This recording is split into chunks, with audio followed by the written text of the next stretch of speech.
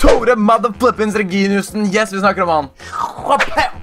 Stemmer det, jeg har den her signa. Jeg var når han fikk prisen, og jeg delte den ut til han, og det han holder på bildet, er jo rett og slett han, og jeg sto der med han, og jeg bare ha. Han henger også der. Og jeg vil jo gjerne ha en sånn her, så derfor skal jeg gi bort den her til en av dere. Hvis du smeller til like-knappen nå, bare øh, bang! Der, ja. Smell til. Og så for å vite om du vil ha den, så må du rett og slett bare kommentere. Bare kommenter. Kommenter hvem din favorittspiller i Eliteserien er, og husk at slag rykker ned nå. Så det er mange som ikke spiller i Eliteserien neste år. Uansett, i dag så skal vi se på Tore Reginussen SBC, altså Player of the Year i Tippeligaen slash Eliteserien. Eliteserien, unnskyld, alle sammen. Unnskyld. Han skal vi sjekke ut, um, og det er veldig seint å gjøre denne challengen, jeg veit, men det har vært mye problemer. Fordi jeg, jeg tok jo med kamera, skulle vlogge hele tiden, men jeg som den idioten her, jeg tar rett og slett og gjør sånn tar ut SD-kortet som er inni her, putter det inn i min Mac, legger Mac-en nedi bagen min mens den her er i, og så knekker kortet. Dere aner ikke hvor bra innhold jeg hadde. Jeg hadde banter med Bentner, Solskjær, Reginiussen, Kåre Ingebrigtsen. Lættis trener, sånn helt ærlig. Og jeg prøver iherdig å fikse de greiene her, men sannsynligheten for å få det innholdet, den er relativt laber. Altså, jeg knekte den av på midten, sendte den inn til Ibas, et sånt firma som spesialiserer seg på reddekort, som er knekt og lignende. Og de sa det går ikke. Det er umulig. Så nå sender jeg det heller til EA i Sverige. Håper på at de kan gjøre noe. Men uh, ikke få forhåpninger, folkens, for det her er dumt av min Det er veldig dumt Jeg tar alt skyld. Unnskyld. Men enough with all the crying. Nå går vi rett og slett inn i dagens video, og det er rundt Tore Reginiussen, som vi for, for så vidt skal spille spiss med i dag. Her har du SPC-en. Eh, hvis du bytter inn eh, et helt lag med sånn ganske lav rangering, pluss et informkort, pluss et par eliteseriespillere, så kan du rett og slett få Tore. Veldig fin stats også, det vil jeg si. Her er laget vi som midter. Det er Skjønsberg, det er Kjetil Wæler, det er André Hansen i mål, og så har vi Skogseid på høyresida, han høyre høyreback. Og så har vi da fullt engelsk lag med Arthur Boruc på venstre midtbane. Det er for fullt kjemi nesten, så det funker veldig greit, og det er laget vi som binder. Altså, det er ikke mye som kreves, så takk for det. Vi tar Tore med en gang. Jeg vil si at det kortet her er bedre enn å ha Bentner. Uh, Bentner hadde vært mer memes, men for en nordmann så synes jeg det er veldig stas å ha et så bra norsk midtstopperkort. Uh, selv om jeg er veldig godt enig, da. Altså, selfie med han. Mm -hmm, mm -hmm. Så ja da, der popper han ned. 75 pace, 84 forsvar, 85 fysikk. Det der er et sabla bra kort, rett og slett. Altså, her er laget, folkens. Jeg vil si at der er solid. Vi har Tore Ginus på topp, men han har veldig fine stats. Eh, ellers har vi sånn fransk, vi har litt tysk, vi har Premier League helt bakerst. Synes det ser greit ut. Det er eh, ganske billig lag. Jeg bare satt sammen noe sånn random i farta, og jeg tror det kan være gøy å prøve det her. Altså, 84 pace har blitt oppgradert til. 74 dribling, det er ikke gærent. 62 skudd er ikke helt for et spiss. 77 pasninger, det kan funke. Og så har han 93 og 94 i de defensive.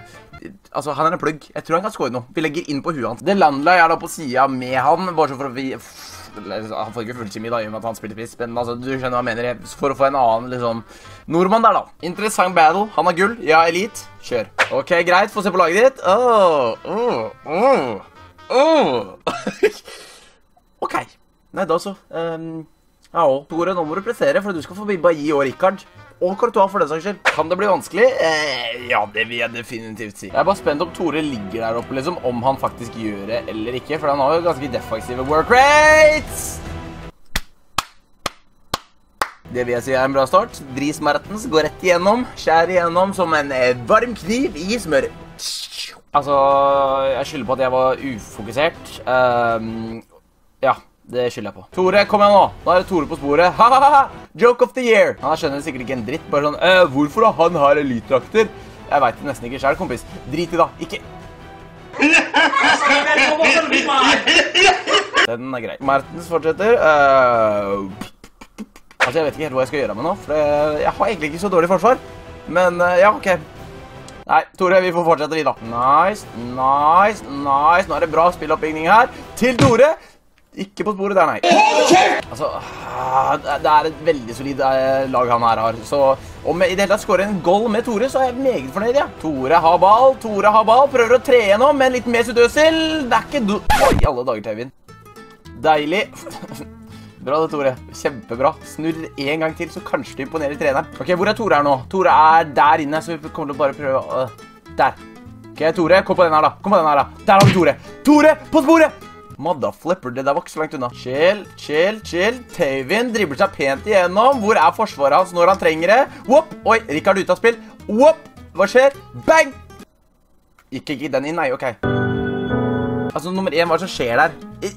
Han bryr seg ikke engang! 30 midt i trynet på Bailly. Han bare Ja, hva skjedde? Mygg eller noe? Sånn funker ikke virkeligheten. Hvorfor tar Tore Gårdheim? Nei, ei, ei, ei, her har vi Merten. Se meg ikke selge meg, for det Lukaku kan plutselig skåre.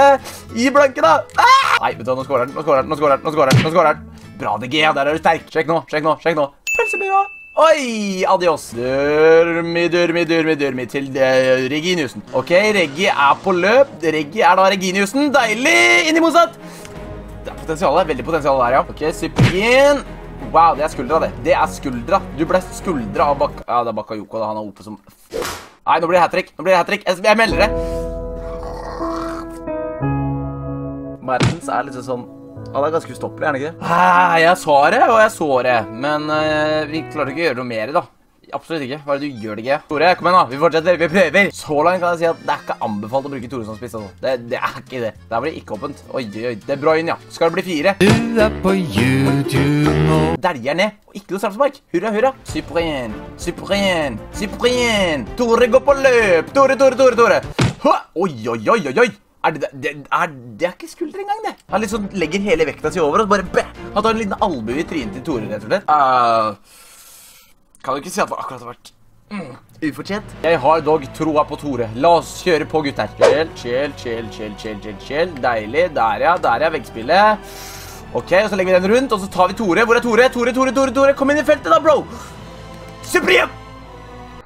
Ok, den er grei. Tore er nede og henter, ja. Du skal ikke være oppe og angripe, du, nei. Selvfølgelig skal du ikke det. Her var det veldig på. Tore, Tore, Tore. Kan du ha langskudd, da, du? Bang! Det var nærme! Tore, min mann. Ok, greit. Det, begynner å nærme seg. Må jo faktisk gå med Tore her, da. Oh, spillet! Oh, spillet! Spillet! Spillet! Å, tut! Tore! Det der er ikke greit! Det der er ikke greit! Og så setter hun der. Så dere tuten, eller? Og bare, skopp! Her har vi Tore, vet du. Tore, Tore, Tore, Tore, Tore. Der, ja. Reggi går igjennom. Skal vi se nå. Deilig. Litt ve- ve- veggspill er du ukjent for. Hæ? Det klarer du ikke, Tore. Det er så piss at han får den skipperen. Se nå, se nå. Se nå, se nå. Wow, den går inn, den. Wow! Wow!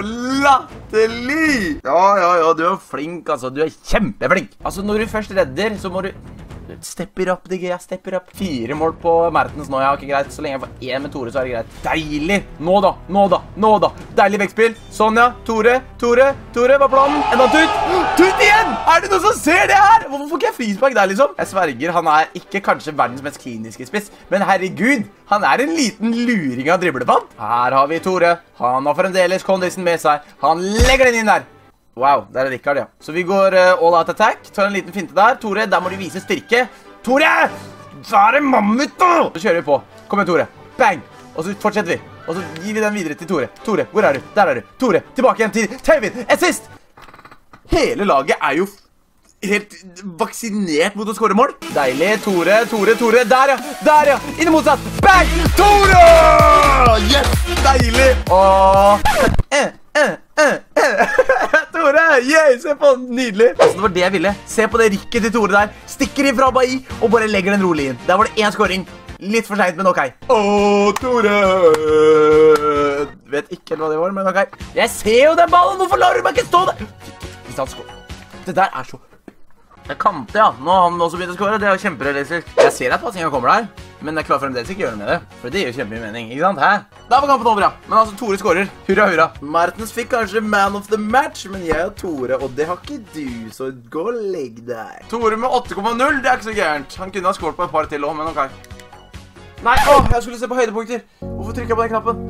Oh no! Så husk, kommenter din favorittspiller i Eliteserien hvis du er keen på å vinne Tore på sporet-plakat. Den er ganske tjukk, egentlig, så jeg kan definere som plakat. Så ja, eh, førstemann til mølla, holdt jeg på å si. Jeg trekker ut en fin av dere. Det eneste jeg vil ha nå, er bare et icon. Det er et icon, så er jeg fornøyd, liksom. Da går det greit. Altså, hvis dere lurer, så er det her SD-kartet som jeg knuste, da. Det bare brakk, og det bare øh, Ikke bra i det hele tatt. Ikke bra. Ikke, ikke vær sånn som meg, fordi jeg er dum. Dette er den faktiske siste pakken. Får vi noe bra? Oh, vi får Bård til å avslutte med. Det syns jeg er veldig greit. Veldig passende sådan. Hvem får vi?